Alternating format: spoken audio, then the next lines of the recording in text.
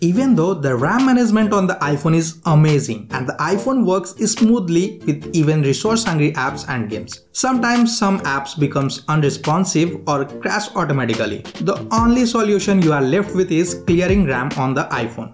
But the question is, how do you clear RAM on your iPhone? Does iOS provide any easy method to clear RAM on your iPhone? We will find it out in this video. Hello guys, I'm Abhishek from TechReview Pro and welcome back to the channel. Today you will learn how to clear RAM on your iPhone. So without any further ado, let's get started. Well, there are multiple ways you may clear RAM on an iPhone and I'm going to show you most of them today. But before that, let me show you something interesting. If you take a look here, as you may see, I have around around 24% available iPhone memory right now. What I'm going to do next is I'll minimize this app and open the camera app. Simply open this and keep it open for a few seconds. While this is open, I'll simply minimize this and take a look at the recent apps. As you may see here, you will notice that currently my RAM available memory is showing around 22.8% which is slightly lower than it was before opening the camera app. Now we will close the camera app and after closing that we will go to this app. If you take a closer look here, you will notice that the available RAM storage space has increased. In other words, the RAM has been cleared on this iPhone and my iPhone's available memory has increased considerably. So just by closing the apps from recent apps, you may be able to clear RAM and free up memory quite a lot. But that's not enough. I have more options as well.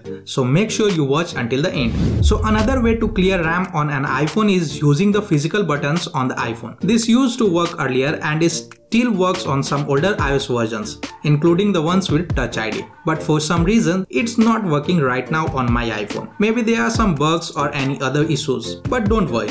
Let me show you that method as well. What you need to do is simply press the volume up button first, then the volume down button and after that press and hold the side button as well as the home buttons simultaneously. Once you do that, it clears RAM on the iPhone and your iPhone refreshes RAM automatically. As I already mentioned, it's not working on the latest iPhones like this.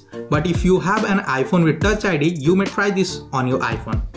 This works perfectly on that. Well, that's how you clear RAM on an iPhone with Touch ID that has a physically home button. But what if your iPhone doesn't have a physical home button? In that case, you need to keep watching until the end as the next method I'm going to show you is the ultimate method to clear iPhone RAM and this works for all iPhones no matter whether it has a physical home button or not. So what you have to do is rather than closing application one by one several times from the recent apps, you may simply shut down or restart your iPhone. When you shut down your iPhone, all the background processes of the apps will stop and RAM utilization will decrease. And when you restart that, everything work fine as normal. So to shut down your iPhone, what you have to do is press the volume up button, then the volume down button and then press and hold the side button. Simply need to slide to power off like this. Once it is shut down, you have to press and hold the side button again and start your iPhone. When your iPhone restarts, all your unresponsive applications and even those apps that weren't working properly will start working fine. So this is how you may clear RAM on any iPhone. And by the way, if you want to find out your iPhone's battery health and view